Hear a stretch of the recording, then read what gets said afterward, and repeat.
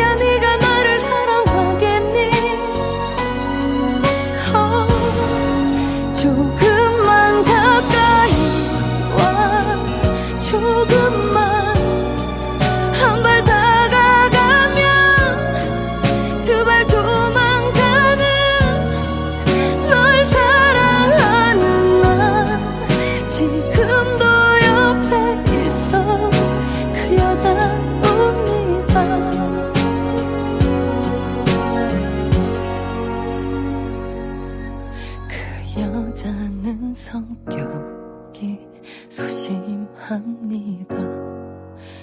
그래서 웃는 법을 배웠답니다.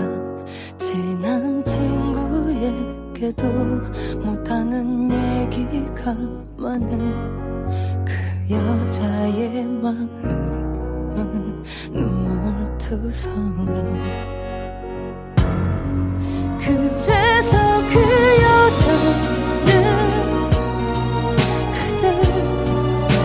항상